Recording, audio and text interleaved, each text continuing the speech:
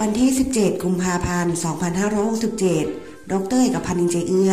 นายกเทศมนตรีเมืองสุพรรณบุรี ร่วมกิจกรรม สาธิตทำอาหาร ในงานมหกรรมอาหารอร่อย และของดีเมืองสุพรรณครั้งที่ 22 พร้อมด้วยคณะผู้บริหาร และมอบรางวัลวงดนตรีสตริง รอบชิงชนะเลิศอร่อยถูกใจ